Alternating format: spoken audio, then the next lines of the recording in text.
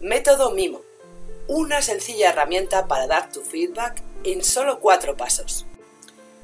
Pero antes vamos a ver cuatro claves para que sea aún más útil. Primera clave.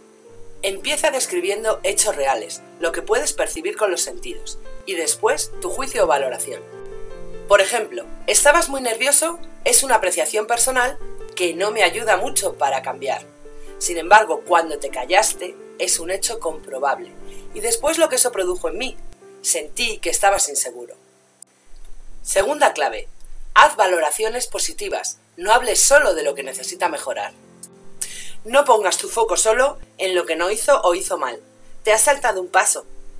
Es mucho más útil para ambos si primero le das reconocimiento a lo bien hecho y después añades el área de mejora. Hiciste muy bien cuatro pasos y te saltaste el tercero. Y vamos con la tercera clave. Conecta tu valoración con el resultado obtenido.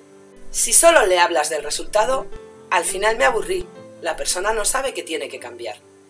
Sin embargo, si le das el hecho que produjo ese resultado, tendrá mucho más fácil mejorar la próxima vez. Cuando bajaste la voz, dejé de atender.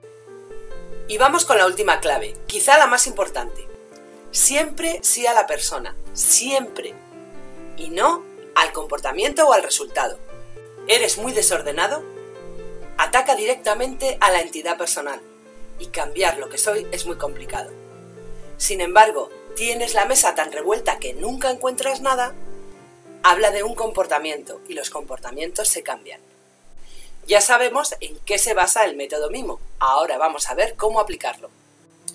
MIMO es el acrónimo del método, mantener, incorporar, modificar y omitir y además nos recuerda que es más útil si lo damos con cariño. Primer paso, mantener.